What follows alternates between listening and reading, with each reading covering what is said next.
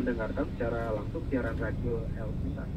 Dan juga jika pendengar ingin melihat hasil dokumentasi dari berita ekspedisi, pendengar dapat melihat di akun-akun media sosial. Halnya at Radio El Sinta di Twitter dan El Sinta News and Talk di Facebook dan juga di Instagram El Sinta News and Talk. Dan jika pendengar ingin melihat video ataupun vlog dari tim ekspedisi, pendengar juga dapat melihatnya di akun YouTube Radio El Sinta.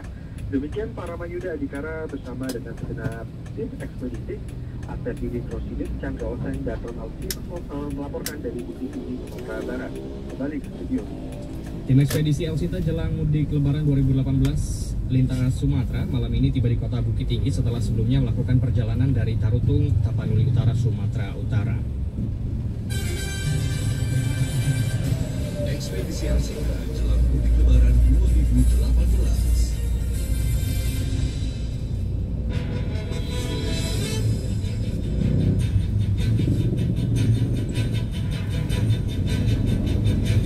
Indonesia kini tengah menghadapi gempuran berbagai ideologi. Situasi ini dikhawatirkan bisa mengancam kebinekaan Indonesia jika tidak segera diantisipasi. Demikian dikatakan Kepala Badan Intelijen Negara Jenderal Polisi Purnawirawan Budi Gunawan.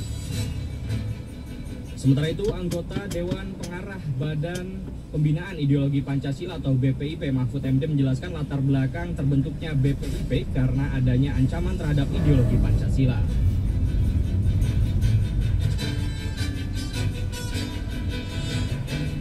Merosotnya jiwa patriotisme di kalangan generasi muda penerus bangsa terancamnya disintegrasi bangsa yang semakin nyata serta bayang-bayang yang mengancam keruntuhan NKRI adalah contoh adanya gerakan-gerakan anti Pancasila.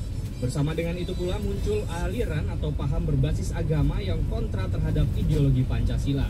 Dengan merayakan hari lahir Pancasila pada 1 Juni 2018 besok, secara nasional sebagai momentum untuk mengaktualisasikan nilai-nilai Pancasila yang terus tenggelam di tengah arus modernisasi. Dan pendengar, untuk menjaga Pancasila sebagai ideologi bangsa menangkal paham radikalisme, bagaimana caranya? Kita akan membahasnya dalam diskusi interaktif dalam dua sesi bersama saya, Arif Budiman.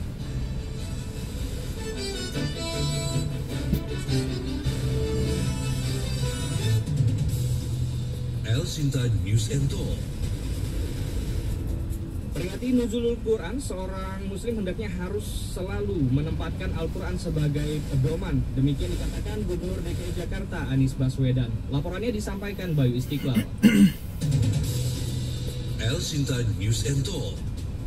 Bayu, Ya, Gubernur DKI Jakarta Anies Baswedan hari ini menghadiri acara peringatan menuju Quran di Masjid Fatahillah yang terletak Komplek Balai Kota Pemprov DKI Jakarta, Jalan Medan Merdeka Selatan, Jakarta Pusat. Acara dihadiri oleh ratusan jemaah yang hadir, tanpa Gubernur Anies Baswedan didampingi oleh Sekretaris Daerah Saifullah dan sejumlah jajaran Satuan Kerja Perangkat Daerah Pemprov DKI Jakarta. Sementara itu, tadi kita tanggapannya oleh wartawan terkait dengan hikmah dari peringatan Nujul Quran sendiri.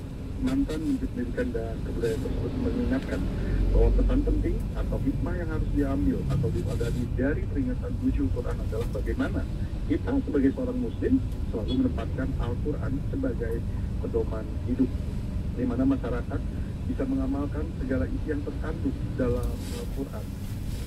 Selain peringatan Nujul Quran, juga harus bisa membuat umat Islam lebih mengetahui pentingnya membaca.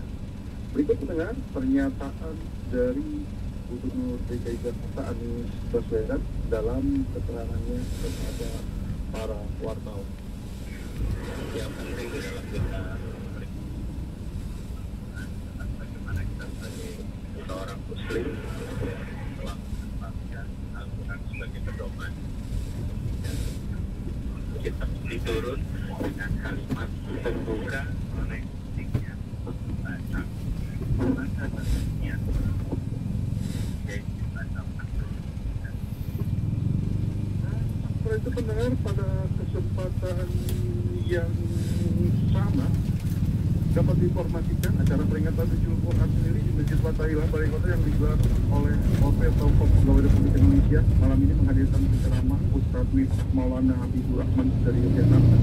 Lima yang hadir tampak antusias dan usul mendengarkan ceramah dai muda tersebut. Bahkan sebagian besar jamaah meminta dai tersebut dapat kembali lagi mengisi acara keagamaan Jambi dengan di lingkungan yang digelar di lingkungan Pemprov DKI. Dari Jakarta, Baik Islam melaporkan hari ini. Peringati Nuzulul Quran, seorang muslim hendaknya harus selalu menempatkan Al-Quran sebagai pedoman. Demikian dikatakan Gubernur DKI Jakarta Anies Baswedan. El Shinda News and Talk. Sebagai salah satu kebutuhan primer, industri fashion terus bertumbuh. Bagaimana prospek dan cara praktis memulai bisnis ini? Baca Imajas Juni 2018, tema Bisnis Fashion. Imajas juga mengulas para pelaku usaha inspiratif, di antaranya Kamru Samad, Entrepreneurship melahirkan kelas menengah baru, Yosi Yunasha, produksi 100 ribu kaos anak islami, Rian Karwono dan Karlin Darjanto, besarkan bisnis sejajar dengan brand fashion kelas dunia. Semua inspirasi itu bisa Anda temukan hanya di Imajas.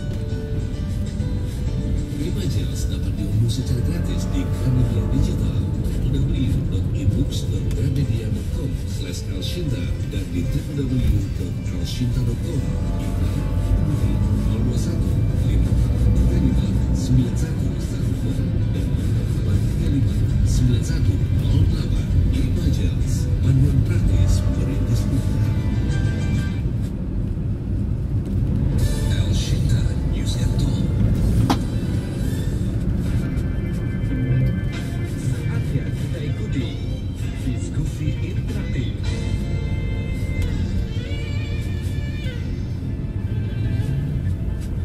efektif edisi 31 Mei 2018 hari Kamis bersama saya Arif Budiman dan pendengar seperti biasa dalam diskusi interaktif Anda dapat berpartisipasi melalui telepon di 021 5869